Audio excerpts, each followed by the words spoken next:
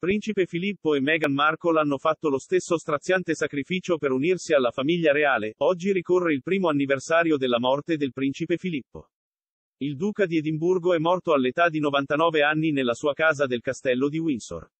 Era a pochi mesi dal suo centesimo compleanno a giugno. Il duca lascia la moglie di 73 anni, la regina, e quattro figli, otto nipoti e dodici pronipoti. La maggior parte della famiglia si è unita per onorare la vita e l'eredità di Filippo durante un servizio di ringraziamento la scorsa settimana. Tuttavia, il principe Harry e sua moglie Meghan Markle non erano presenti. La coppia si è dimessa dai loro ruoli di reali senior e si è trasferita negli Stati Uniti due anni fa, una mossa da cui si diceva che Philip fosse sconcertato. Philip inizialmente era affezionato alla duchessa del Sussex e la coppia ha più cose in comune di quanto sembri a prima vista. Entrambi abbandonarono una fiorente carriera per dedicarsi ai loro nuovi ruoli all'interno della famiglia reale. Philip si unì alla Royal Navy dal College Navale di Dartmouth nel 1939.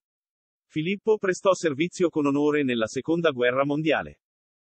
Assistendo per la prima volta all'azione militare nell'Oceano Indiano. Nel 1942, all'età di 21 anni, fu uno dei più giovani tenenti della Royal Navy, tuttavia, quando la regina salì al trono nel 1952, fu costretto a rinunciare alla sua amata carriera e a dedicare la sua vita al suo ruolo di consorte. L'esperto reale Richard Fitzwilliams ha detto a express.co.uk l'anno scorso. Il ruolo di Philip come consorte è lontano dal ruolo che avrebbe idealmente scelto nella Marina. Probabilmente sarebbe salito in alto se la salute cagionevole del re lo avesse costretto a interrompere una promettente carriera. Allo stesso modo, quando Meghan ha incontrato Harry, stava conducendo una carriera di successo nella recitazione.